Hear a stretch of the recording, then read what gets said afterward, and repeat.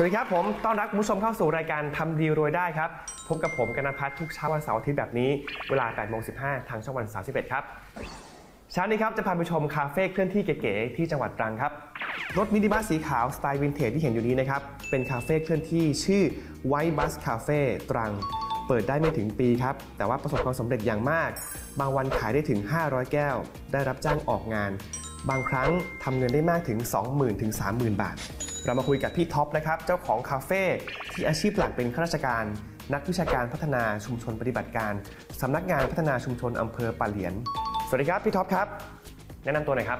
สวัสดีครับพี่กันชื่อนายพรพิทักษ์ทองขาวครับ ผมอายุ 34 ปีเป็นเจ้าของไวบัสคาเฟ่ตรังครับพี่ท็อปไม่มีจุดจอดขายประจำแล้วขายเฉพาะวันศุกร์เสาร์อาทิตย์ ก็คือตระเวนขายไปเรื่อยๆทั่วจังหวัดตรังใช่ไหมครับ ตระเวนขายอยู่ในพื้นที่จังหวัดตรังครับจะเวียนไปเรื่อยๆเลยตามงานต่างๆ แล้วก็ตามที่ที่ไหนที่มีจุดเช็คอินสวยๆ ก็จะไปแวะจอดที่นั่นครับ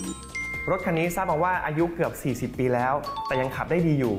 พี่ท็อปได้รถคันนี้มาจากไหนครับ รถตัวนี้ครับซื้อมาจากน่านครับผมพอดีว่าเป็นรถมินิบัสโพสต์ขายอยู่ในเฟซขายอยู่ตัวรถเนี่ยซื้อมาแสนห้าแล้วมาตกแต่ง built-in เพิ่มเติมแล้วก็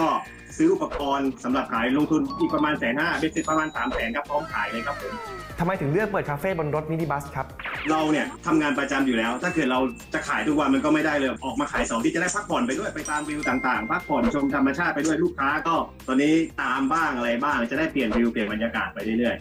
จุดเด่นของกาแฟที่คาเฟ่ใช้คืออะไรครับพี่ๆ เราเป็นใช้กาแฟที่ผลิตจากกลุ่มผู้เกษตรกรในจังหวัดตรังคือจะเป็นเมล็ดกาแฟที่ผลิตจากคนในพื้นที่ แล้วก็เรามารังสรรค์เป็นเมนูต่างๆครับผม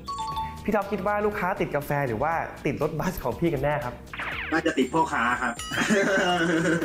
ลูกค้าก็บอกว่าพ่อค้าแต่ใส่ดีก็เลยตามกันไปรสชาติกาแฟด้วยนะครับรสชาติกาแฟด้วย ลงทุนค่ารถไป 3 0 0 0 0 0 บาท ตอนนี้คืนทุนหรือยังครับพี่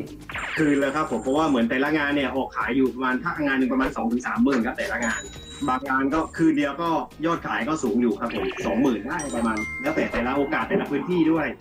จุดขายก็เปลี่ยนไปเรื่อยๆนะครับ แล้วในช่วงเดือนธันวาคมเนี้ครับจะไปจอดขายที่ไหนครับ ช่วงพฤศจิกาธันวานี้น่าจะจอดตรงที่เนี่ยที่นายงครับนาข้าวเสียวิวท้องนาสวยอยู่แวะมาเที่ยมชมมาเที่ยวได้ และช่วงปีใหม่เนี้ครับพี่ท็อปมีโปรโมชั่นอะไรไหมครับ บอกว่ามาจากรายการทำดีเลยได้ลดให้ 10%ทุกเมนูครับในช่วงธันวาถึงมกราสองเดือนพี่ท็อปใจดีมากๆนะครับลด 10%ให้กับแฟนๆรายการทำดีรวยได้ทุกคนเลยนะครับผม ส่วนรายละเอียดเพิ่มเติมนะครับว่าไวบัสคาเฟ่จะไปจอดที่ไหนบ้างนะครับ ก็สามารถติดตามได้ที่เพจ Facebook ของทางร้านเลยครับ ขับรถอาจจะซิ่ง แต่รักแล้วพี่ไม่ชิ่งแน่นอน